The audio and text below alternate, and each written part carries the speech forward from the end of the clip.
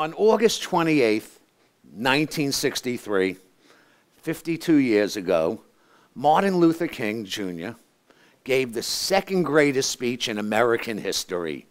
Anybody know what the first, what's considered the most famous speech in American history? Very good. Gettysburg Address, Lincoln's Gettysburg Address. 247 words given in two and a half minutes. You know, it shows you the power of words. Now, Dr. Martin Luther King spoke for hours on that hot August day in Washington in front of a quarter of a million people.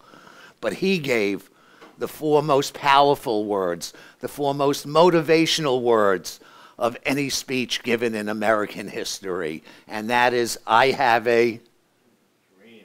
I have a dream. And every one of you must have a dream. You must have a passion. You must find a purpose. You must find a vision. But a dream is no good without a set of goals to achieve it. Without any goals, you are like a ship without a rudder, just lost at sea, just floating around with no direction. Understand, the brain is a goal seeking mechanism. Think of a shark what is a shark? A shark is nothing more than an eating machine, an eating mechanism. You know, during the filming of Annie Hall, they asked Woody Allen what his viewpoint was on relationships, which the movie is about.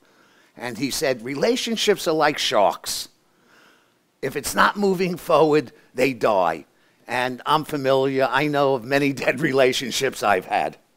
The brain is the same way. It's a goal seeking mechanism. And if it's not moving forward, it's not going to die on you, but it'll stagnate and just wait for the body to catch up with it.